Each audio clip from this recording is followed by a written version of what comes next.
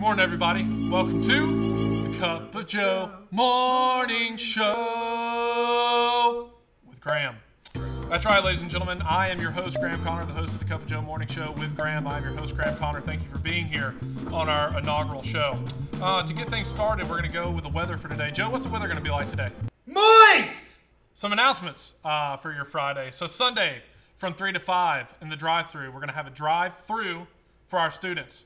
And p- years past, we've done the, uh, the backpack blessings. Okay? Uh, we know that you all have hated this um, because you're teenagers and it's awkward. Uh, but we will be doing it. Come through, get some snacks, get some cool stuff. It's going to be awesome.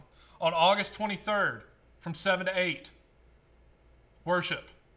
You guys need to be there. How long has it been? In person! in person, outside, me, Graham Connor, the host of the Cup of Joe Morning Show, will also be your worship leader. Joe, devotions. That's what he does. He'll do another one then.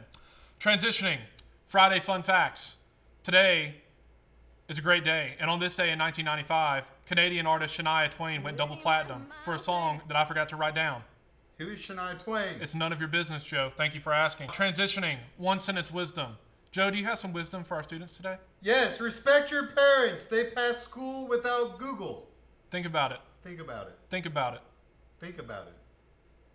And that's all for today, folks. Thank you again for being here for the first Cup of Joe Morning Show. Signing off, I'm your host, Graham Connor. Thank you for being here. See you next week.